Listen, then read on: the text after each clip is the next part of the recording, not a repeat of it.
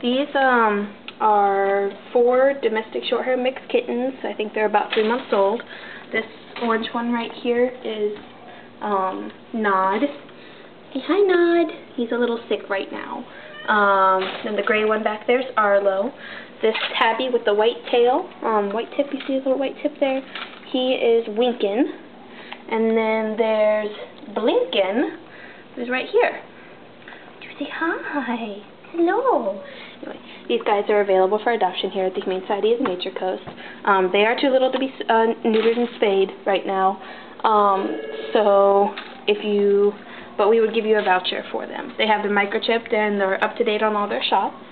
Um, aren't you just a little affectionate guy?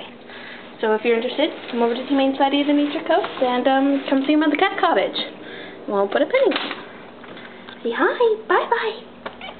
Hi.